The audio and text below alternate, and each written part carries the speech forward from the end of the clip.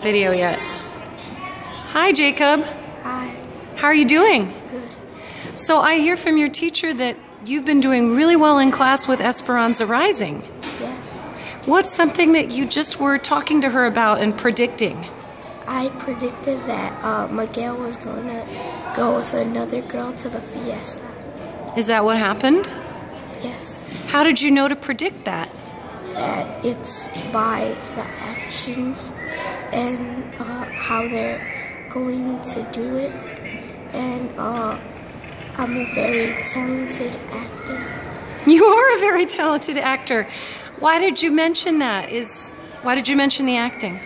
Because Esperanza, Esperanza was having a very good life, and then it, it seemed like her life was changing, and uh, and she and she wanted to be the best that she can, but that didn't happen.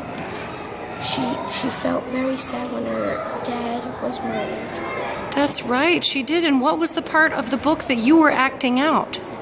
That I was acting Tío uh, Luis. I was burning down the house. You were, and you really struck the match. Can you show me right now striking the match?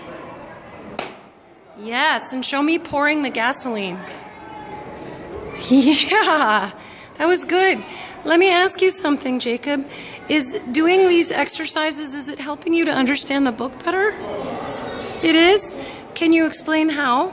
Um, that if you if you get the right uh if you get the right pitch and the right uh part and and if you get that part right, you can uh, also make a person come alive to uh like a persona.